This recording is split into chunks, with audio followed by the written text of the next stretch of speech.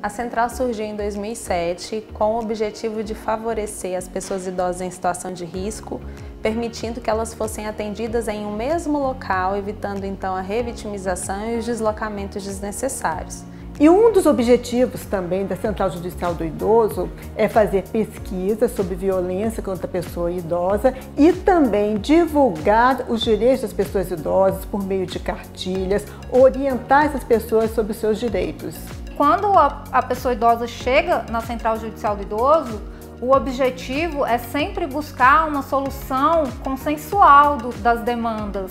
não buscar uma resolução no judiciário por meio do ajuizamento da ação. Ela surgiu com o objetivo de se tornar uma rede de serviços interdisciplinares envolvendo o Tribunal de Justiça e toda a sua equipe de psicólogos e assistentes sociais, o Ministério Público e a Defensoria Pública. Por meio dessa parceria que o Ministério Público tem com a Central Judicial do Idoso, o Ministério Público consegue apurar de forma mais rápida as denúncias de violações a direitos de pessoas idosas. Agora nós estamos sediados no térreo por conta da sensibilização da alta administração atendendo um pleito antigo nosso para que a gente pudesse promover um acolhimento que fosse mais eficiente em relação a um grupo que frequentemente apresenta vulnerabilidade motora também, de deslocamento, dificuldade de acesso. A gente conseguiu é, promover essa reforma num espaço grande, ventilado, para que a gente pudesse então retornar os nossos atendimentos pós-pandemia